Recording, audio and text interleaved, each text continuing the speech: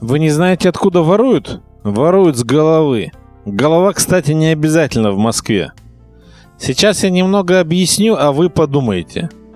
100 машин в день типа борются со снегом. Каждый день город теряет полмиллиона. И это только солярка. Просто помножив на 30 и на 5, итого 73 миллиарда в сезон. Вот вам небольшая, но экономия в 130 рублей на каждого пенсионера в месяц. И она контролируется легко. Кастрацию можно придумать и для бюрократов.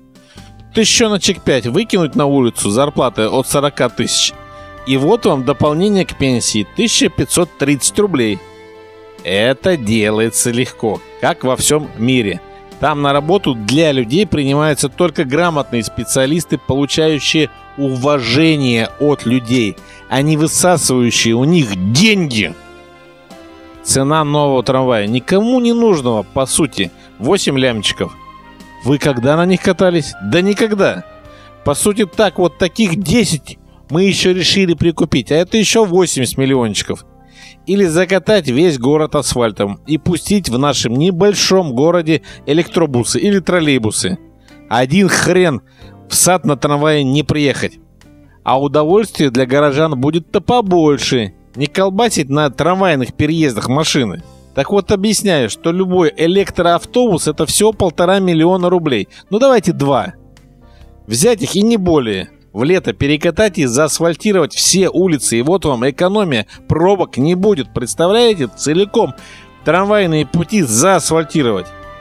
А плюс к пенсионерам. И это 1300 рублей в месяц. К слову, такси есть. Пусть себе и покупают. Разницы в цене горожане не заметят. Зато удовольствие будет больше. Ну, товарищи мои, как не ломануть нашу обслугу-то? Да легко пару тысяч, и вот вам нет новых коттеджей. Нет! Обломайтесь. Еще для пенсионеров экономия в те самые 2000 рублей. Жесткий накат на магазины. А это и есть работа депутата. И по сути это либо правильный интернет, либо заплатив масенькую сумму в 25 тысяч долларов, за это, ну, максимум 2 миллиона рублей, мы покупаем свой канал и всем правильно показываем магнитогорскую суть вопроса. А как? То есть, внедрив своих людей в Гордуму, 5000 рублей экономия для пенсионеров каждый месяц. И это просто сделать то. Это, конечно, не идеал, но, извините, хватит давить тех, кто сделал все, все, все для вас. Так хоть потихонечку, и мы должны понимать, что пенсионеры у нас ведут малость-таки оседлый образ жизни. А мы дадим им возможность получить большее удовольствие, затянутое у них нашим правительством. Так, может быть, будем работать с нашей главой? Вы, кстати, часто общались с депутатами? Я думаю, что нет. Это не ваши депутаты. Эти депутаты пилят ваши деньги, а вы не видите. Так вот, есть такая партия, это коммунизм. Эта партия работает для людей. Отсюда и надо выбирать наших представителей. Это можно сделать, начав с местной власти, вернув выборы мэра или главы. Достали меня пиндосовские или демократические слова.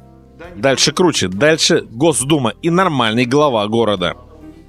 Глава от народа с уважением к комбинату. Без комбината, извините, магнитки бы не было.